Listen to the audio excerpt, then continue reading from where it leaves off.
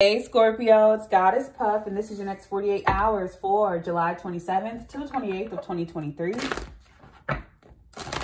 All right, let's get started with an oracle card message for Scorpio. Next 48 hours for Scorpio.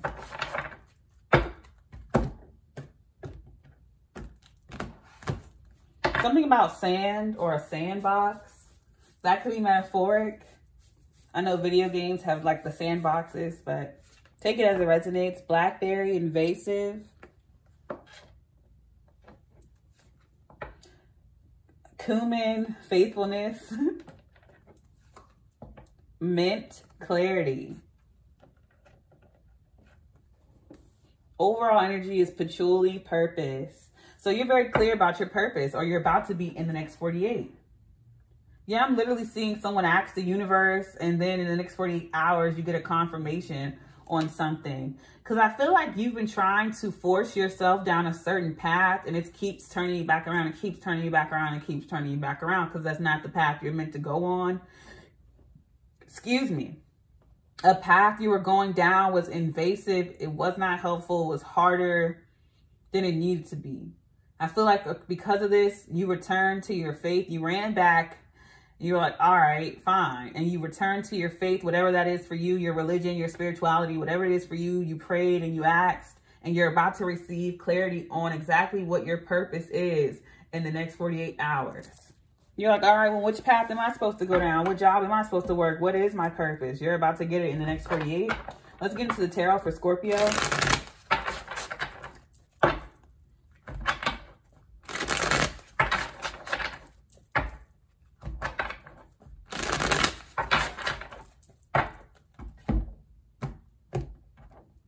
Something about milk and honey. Hmm. The traitor.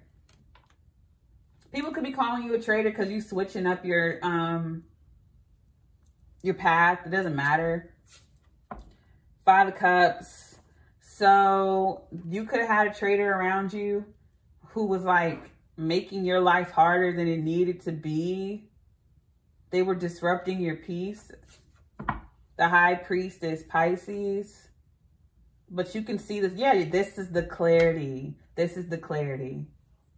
So whether or not people were calling you a traitor doesn't matter. I feel like you just weren't on the right path. And it's like you were expected to stay down that path when and stay faithful to something that was working against you anyway. And I feel like you turned back around and you went back to something else that was what you wanted in the first place, but other people convinced you to go a different way. That's what I'm really getting.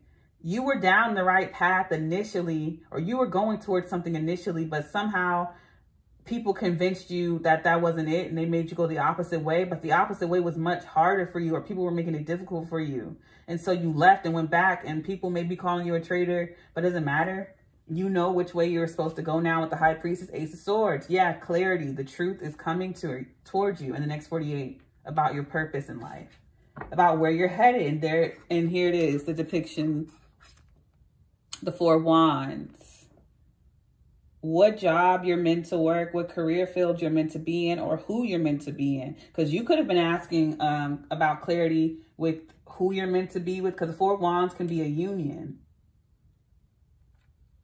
Overall energy is the Queen of Wands. Fire, Aries, Leo, Sagittarius. I'm going to write the title down and then I'm going to clarify before I forget.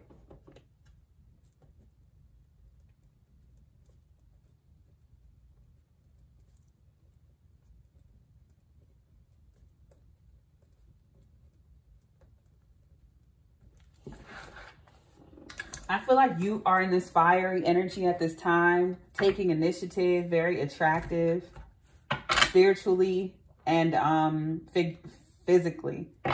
Clarify for Scorpio.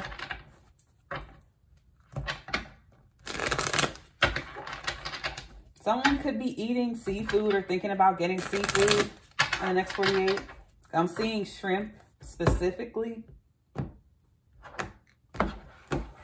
Then I heard lobster. Clarifying the traitor is the Knight of Wands. Yeah, people could be just calling you flighty, saying you're jumping from job to job or you're jumping from place to place. And it's like, shut the fuck up. Mind your business. You just doing you. Yeah, you could just be, these people are manipulating you. They're confusing you. These people may keep trying to get you to jump from thing to thing or telling you. And I feel like the thing that's annoying me the most or the thing that's the most telling is that the path or the paths that they're telling you to go down are ones that are whooping your ass. Because the depiction I've been seeing is you going through a bushel and down a path on a dirt road and you're getting all scratched up on your legs and ankles trying to get through this. They're, they're making you go down paths that are too harsh for you. Or not that it's too harsh for you. It's just they're not meant for you. You're meant for something better than to be walking through thorns. Seven of Cups, yeah. These people are confusing you and making you either, making you feel flighty or like a traitor, or they're manipulating you into going down a path. They're just, it's none of their business. And it's funny because these people aren't even happy with what they're doing or they're all over the place. Clarifying the Five of Cups is the Two of Swords. Judgment yeah, don't um don't worry about disappointing others. I feel like um disappointing others is what's like a blockage for you. Who cares? I do feel like something or someone from your past is trying to be revitalized or reignited in your life. And I feel like that's a blockage for you. Don't do that. Clarifying the high priestess is the Ten of Cups. Yeah, you know what's meant for you. Five of Cups. So this could be a family situation you're seeing your family situation very clearly, how they could be very manipulative. I just feel like you're leaving this dynamic behind or you're leaving the influence of these people behind and they're calling you a traitor for leaving. They're calling you a traitor for not listening to them anymore. That's all this is. Clarifying the Ace of Swords is the Moon card.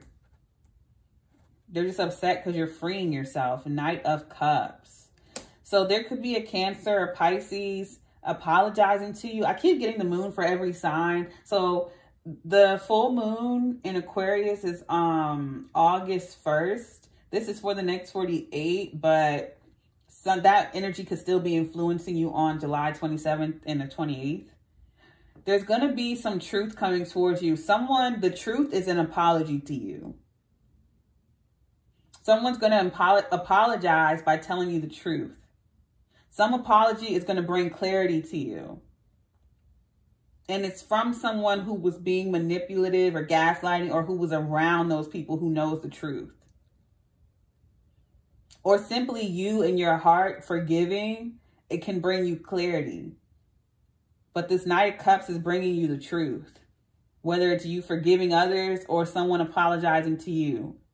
Clarifying the four wands is a star, Aquarius energy, Ace of Swords. Yeah, someone's going to want to patch things up with you. Or I just see you healing family issues in your heart by just um, letting it go, seeing it for what it is. Or just the two of wands and you move on. And you don't care about being called a traitor anymore. I just feel like that was a way to gaslight and manipulate you into doing what they wanted you to do. But I do see an apology coming from someone here. And it's allowing you to heal a family or home situation or heal your relationship when it comes to your career or your work and see the situation clearly for what it is. Or seeing it clearly allows you to forgive or let it go. Because you get to find your purpose and you get to have the freedom and excitement